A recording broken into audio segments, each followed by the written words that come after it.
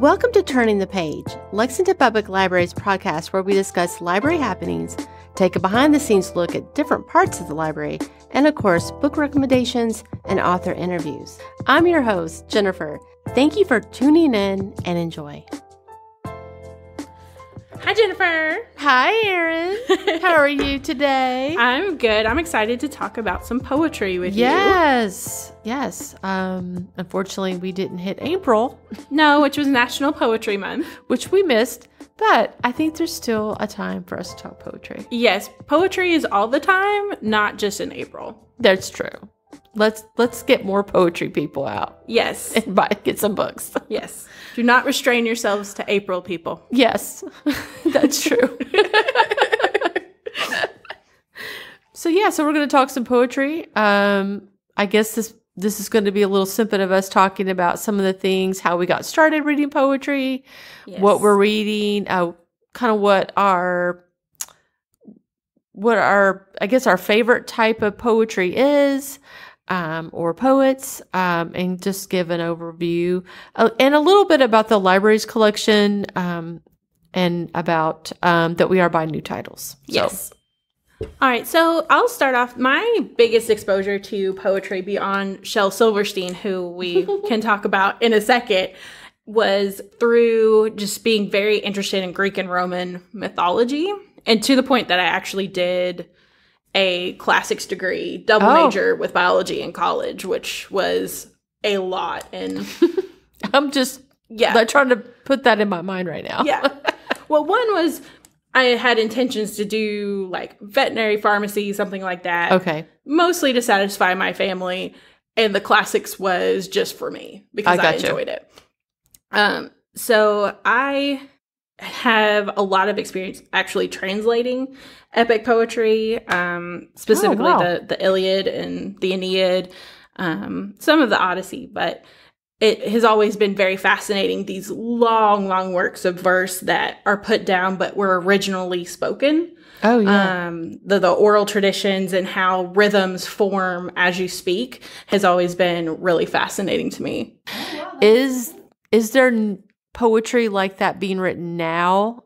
Do people write epic poems still?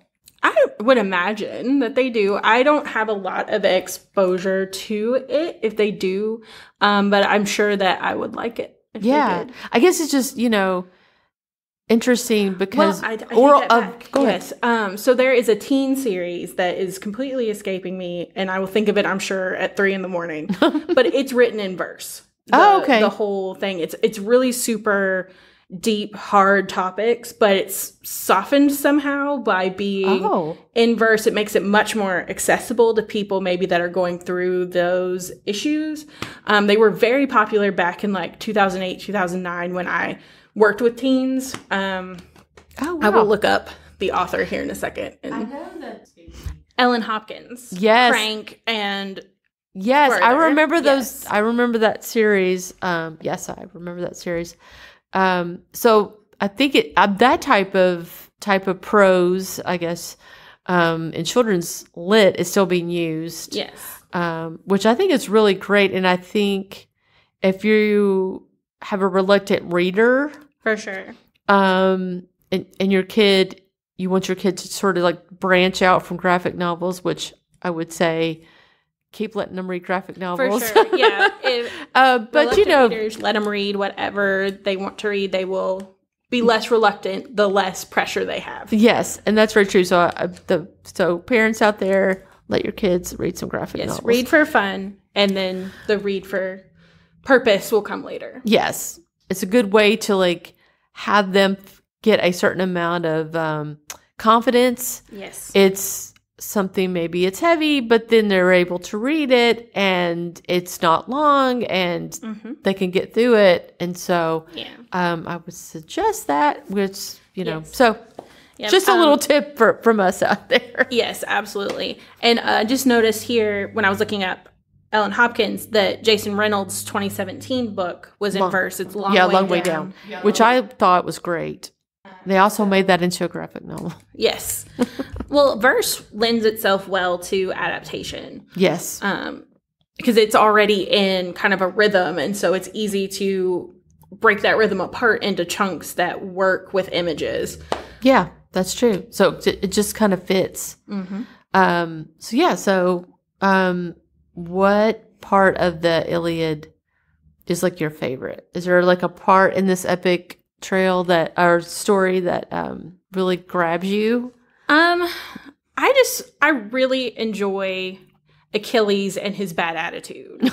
yes. Like he is just the the worst almost. like his attitude is just so bad. You know, he for most of the book he's refusing to fight, and so it's yes. about the various generals and leaders trying to get him to fight and then he has his relationship with Patroclus and once Patroclus dies a multi-thousand year old spoiler um By the way. uh he gets so upset that he attacks a river and the so the gods have to step in and like stop him from actually bringing huge destruction when what's really trying to be solved is who's the prettiest goddess of them all. Wow. Okay. So, yes, it's very it's a very interesting and I can see how around a campfire over many many nights like it would be very engaging oh yeah. to follow and keep up when like what's that Achilles going to get up to this episode? Oh yeah, like a serial. Like you know, you're yeah. That also reminds me of like um, today's life when you're a kid or a teen, Mhm. and it's you. That's like who's the cute, cutest girl at school and who's Yes. the cutest guy at school. You never answer that question. no. Just never answer that question. yeah. Just mm, no. It's not worth it. It's not. Troy fell because of that question. Yeah. You'll fight At a river. You don't want to fight a river. I mean, come on. Yeah. yeah. but yeah, so uh, for me, um, I guess I started off reading, of course, Shel Silverstein, Yeah. um, and Roald Dahl's uh, Revolting Rhymes. Um, my mom was a big reader of that type of stuff for me. Um, when I was a really little kid, my mother purchased a book for me called 365 Days of 365 Stories or something like that. And it had rhymes, it had um, some poetry, and it had story. And it was illustrated and written by Richard Scarry, who to this day I still love Richard Scarry. yeah. Um, but I think that kind of turned me on to being very interested in rhymes. yeah. Um, and I think most a lot of children are like that. But I just remember being like, hmm, can I do that? You know, like, hmm. And then just trying to take a word and like rhyme it as far as I could. Um, so in a way, you know, um, it kind of kept, kept me forward. And Of course, then, I, and then of course, I went to my moody uh, teenager years, and of course, then fell in love with Sylvia Plath, Ariel, which I must have reread a million times, and of course, the Bell Jar. Not poetry, but still.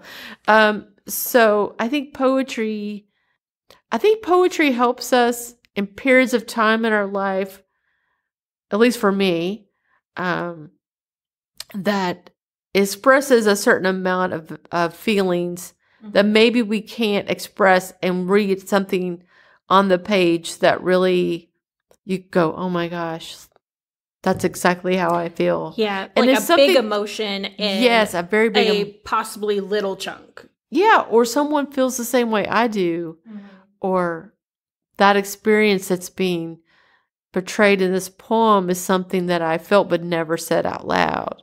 So there's something about poetry that's very important to me, and and that uh, for that reason, you know, someone like Mary Oliver, who I think has expressed so many emotions for me, uh, and I think for other people. Yeah, I think, gosh, what would you know? Like um, you're going through something, I would think. I'm sure Mary Oliver has a poem about this, you know, as I laugh to myself, like, oh yeah, I should probably check and see. So let's talk about Shel Silverstein since we both Oh boy. Yeah, let's talk about Shel. mentioned him. So his poems for children are so creepy, but they're like in Yes. that zone of delightfully creepy. Yes, and gross, but Yes. kids love gross. Yes. And kids love a little bit of creepy. Uh, yeah. If I had a, you know, a dime for every kid that wants a scary story, Yeah. um, I'd be rich. but uh, you know, Yes. um, I'm not taking money from children. No, no, I don't don't uh, actually give Jennifer dimes. yes. I don't. Yeah, and probably what grabbed a lot of a lot of kids Mhm. in our, you know, generations of children is that it's kind of funny, Yeah. and so you could laugh. You know, you would think, is this like, oh, this is kind of crazy. You know, Yeah. this is funny. You know, Like I read, I probably started reading them around fourth grade, eight or nine. Something yeah, that's like probably that. about how old I was as well. And I have ladies first has always been just like slightly at the back of my mind where they meet the cannibal king and she's like ladies first and just in my head it just every so often I go ladies first and then just get kind of like ooh creepy but it, it's so powerful it just sticks in there and I'm sure that there are other examples of folks that you know read their Shel Silverstein where the sidewalk ends any of them and something just stays Oh, there's no doubt. I, I- of course, for me, I'm, I can't think of. I just remember having the book. I could tell you what the illustrations looked like. I could tell you what the cover mm-hmm. looked like. Um, yeah, it was. It really was memorable, and you know, to this day, I mean, people are kids are still reading these Yeah. poems. you know, and then I don't know how universal this is, but memorizing Annabel Lee to recite in Ah. eighth grade, you have to the Poe poem. That you just it just stays little chunks of it every so often. That's I, yes, I and I still love that poem. It's so good. Yeah, I love Poe. I like how creepy, just yeah, he delightful. he he knew what he was doing. Yeah. so atmospheric, you know, like Mhm. you just you just And a kingdom by the sea. oh my gosh. Yes. Yeah, I yeah, you can't go wrong with Poe. I yeah, and that's so funny you said that because I remember being in oh gosh, I remember maybe in 6th grade, 7th grade us having to like memorize poems and Yeah. oh my gosh. You know, and then you're thinking you think you can never you're never going to get it. It's just You never gonna happen. And then all of a sudden it's just like boom, you got it. Yeah. You know, and you can't believe it. you're like I finally did it. And you're like, let me do it now so I can remember. Yes, and then like 20 years later, you're walking around and, you go- suddenly you just start reciting. You're like, wait a minute, let me tell you. yes. I love it. I love it. And you know, there's I think poetry is a good way to teach certain skills. Yes. Um, I mean we we know that sort of like the idea of rap um Mhm. of kind of helps. I mean, I remember a period of time where learning sort of math skills was was wrapped to us. Um and so I remember thinking I can still remember that, you know. So I Mhm. think just the it just rhyme is just one of those things and not, not all poetry is going to rhyme of course Yeah. but um and i think it's just i think it's just a a really great important thing for us to look still look at and and and see Mhm. that there's people who are still expressing themselves and writing some like amazing poetry For sure. and I um, think even, you know, say what you will about social media, but I think Instagram has been really good for Poets? poetry. Yeah. Yeah. Because you can,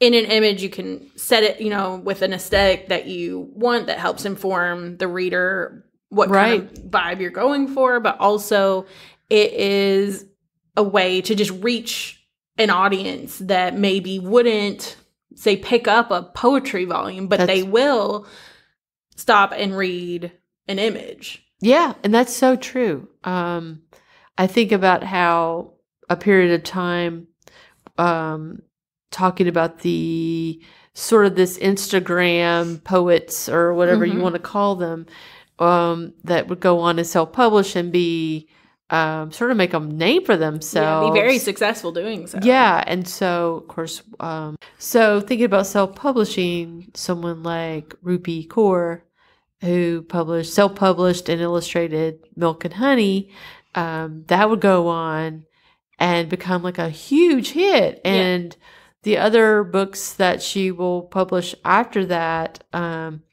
you know, New York Times best-selling list poetry. I mean, I Yeah. mean, who in a, who would have thought? That's Yeah. but something just takes on um it, it's just like a fire, you know, it just hmm all of a sudden everybody and you have a waiting list of like a couple hundred people for a poetry book and you're just stunned And it's so exciting to see. yeah and, and i was really excited about that because i love seeing that and then helping younger women come in to the library looking for her books or someone similar to read hmm um, is great because I think it's, you know, regardless if you like her poetry or think it's great or whatever, um, that's not really the, for her, of course, it's, she wants everyone to like it, but it's the possibilities that poetry is opening up a world for other people, for other Mhm. women to maybe tap into emotions or things that they would like to get down on paper or, you know, on Instagram or someplace. Um, so it was fascinating to see and kind of exciting hmm um, to see. Um, one of the people that I really started to enjoy was Amanda Lovelace. Um, she has a series called Women Are Magic, um, which are just, they have fun titles. Um, and I've enjoyed every single one of those. I don't know what number she's on right now, but um, a f- just empowering, uh, Yeah. you know, sort of w- women's empowerment kind of Yeah. poetry, I guess. Um, yeah, so really fun. And uh, so it was cool to see that there were people looking for stuff like that. Um, Looks like you brought a couple of titles. I did. So, um, of course, I brought uh, Mary Oliver, um, which I just, and this is the one, uh, the title is Felicity uh, by Mary Oliver.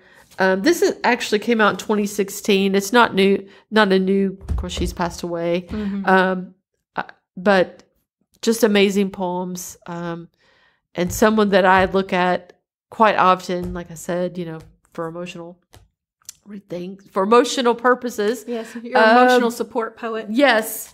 And then a local uh, writer and uh, poet, um, Crystal uh, Wilkinson's Perfect Black, which um, I really enjoyed. Um, and so, of course, she's local. To, um, she's here in, in Lexington, um, which it's great. Give her give her a read. Yes, for sure. um, so yeah. So do you have? Oh, did you bring it? Oh, you I, brought. I did. I brought just so I wouldn't forget it, but I brought Ovid's Metamorphoses oh, okay. and um, the Iliad by Homer. And the Metamorphoses is just a really interesting thing to read because it's all about transformation. It, it leans really heavily on Greek mythology. He's a Roman poet. And then later he kind of gets into a couple of original Roman things, which of course the Romans took most of their mythology from the Greeks. Right. So, um, but it's really interesting. Like the first set of books are about transformations caused by the gods, but then the second half is really even more interesting because it's transformations that humans undergo on their own. Oh, okay. So it's very, very interesting. I really enjoy it. I was thinking about something like this, and I think about people I know um, who they love uh, Beowulf, Yeah. um, and that's something that I think they're still studying. I mean, Yeah. I, it's just amazing. And of Well- course, you know, go ahead. No, and that hits on a completely other thing is how to translate poetry from one language to another and keep Oh, the yeah. rhythm and keep the meaning and the art that the original poet Oh. put into it is like a whole separate art that is just as important to be able you have to be very talented Oh to gosh. translate and keep what made it special in the first place. Oh my gosh, yeah. I mean, I can't even imagine. Um, and we should note that um, the poet laureate actually is from Kentucky. Oh yes. yes, Um, Ada Limon. Ada Limon. So I just f- finished her book of poetry, Lucky Wreck, uh, which I would highly recommend. Um, I know that the library has, a, a, I would believe, a couple books of her poetry. Um, And if we don't have one that you want, just use that suggest a purchase form and we Yeah. will get it as long as it's available to us. Oh, yeah. More poetry, the better. Yes. Please enjoy readings from two of our past guests. Reading from her book, WWJD and Other Poems, it's Savannah Sipple. And Danni Quintos is reading from her book, Two Brown Dots. Various poems might contain heavy emotion and themes, so listeners should be advised. yes. And we have also chaptered them. So if there is a poem that you'd like to skip, you can. Yes. Please enjoy. Pork belly. Imagine you clutch the carving knife, slice it under and against your own ribs. One cut for every time they call you fat. Take that meat, preserve it with salt to season your beans. Pinto, green. In your hands, a bucket. The fat sloshes, hot grease you collect in coffee cans, glass jars, your dreams dripping off your meat. This is poverty. You save every drop. Tell me, how many people you trying to feed?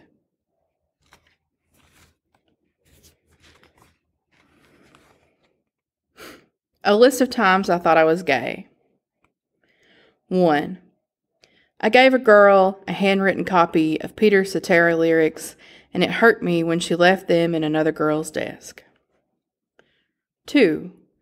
I wrote a letter to my sports idol. I wanted to be like her, a girl the boys feared on the court. 3. Whenever she made me wear a dress. 4. I wore shorts and knee socks to the school dance instead of a skirt. My friends laughed. A cute older boy asked me to dance, and his friends laughed. 5. In the locker room, surrounded by sports bras and ball shoes, I felt no different. I looked. 6. I cut myself with a straight razor. 7. In the kitchen at church camp, I cleaned dishes in three sinks soap water, bleach, rinse. Week after week for years, I never felt clean. 8. I wanted to hug someone. I did not trust myself to hug someone. 9. Boxing class, my body sore, my muscles alive. 10. When I saw you clothed. 11. And imagined you naked. 12. When I saw you naked. 13. When I let myself hug you and my mind and your arms found my body and we were clothed and naked at once. 14. I realized if I wore makeup, if I wore dresses, she thought it meant I was straight. 15. When the youth pastor decried our friend might be dating a woman, my face flushed. 16. When I wore my hair in a faux hawk, then washed it out immediately. 17. Every time I wanted to buy a new tie. 18.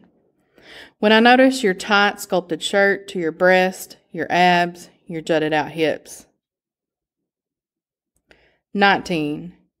Every time a friend got married and I went without a date. 20. The first time I said, I'll never marry a man, then cried when I realized I didn't have to.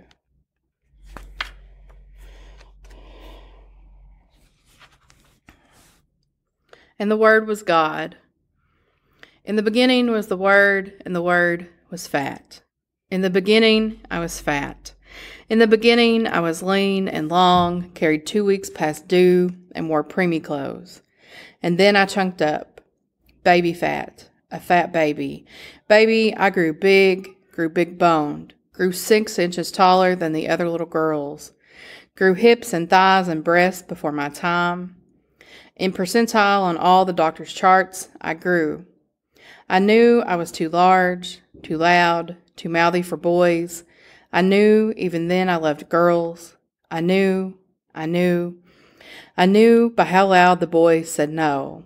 I wanted them to say no. I wanted them to say yes. I wanted to feel like I could stop burying myself in my body. My body grew large. My body grew larger, a walk in closet. I stood on the inside, hiding behind dresses. On the outside, Bible verses and Jesus. Men who made sure I heard them tell me my body was not my own. My mind was not my own. But it was, it was, it was. So I started to drag myself out. I kicked that door open. I kicked it down. Haven't looked back. Look, don't look back. Don't look back at the beginning. In the beginning was that word, and that word was God. The word is not God. I am God. I am that word. I am God's word. I am still fat.